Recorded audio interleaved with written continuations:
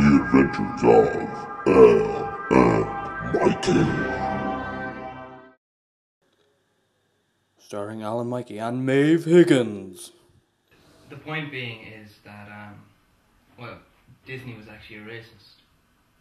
Uh, like, I, I know m- many people don't know this, but Walt Disney was a, an out and out racist. He never hired any black people or homosexuals throughout his career. And a lot of people do do think there's like there's reasons for this, but you know, I, I know that is that um is that Maeve Maeve uh, Oh, yeah, Mick Higgins from Naked Camera. yeah, f- do you want from from the telly?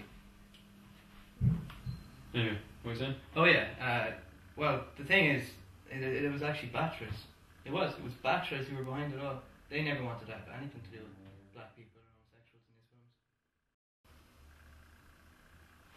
So, you know, a lot of people have been uh, complaining about continuity errors in your film. Like what?